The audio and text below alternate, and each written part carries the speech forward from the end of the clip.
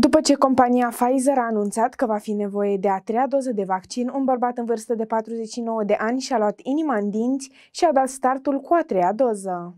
La trei zile de la vaccinare, bărbatul spune că efectele deja se simt. Bărbatul în vârstă de 49 de ani a reușit să păcălească vigilența medicilor din Dorohoi, unde în weekend a avut loc un maraton de vaccinare. Imediat după ce a primit a treia doză, cadrele medicale și-au dat seama de eroare. Acum autoritățile își fac griji pentru el. Primarul a trimis asistenții comunitari să verifice cum se simte. În mod normal, a treia doză de vaccin va putea fi administrată la 6-12 luni după rapel.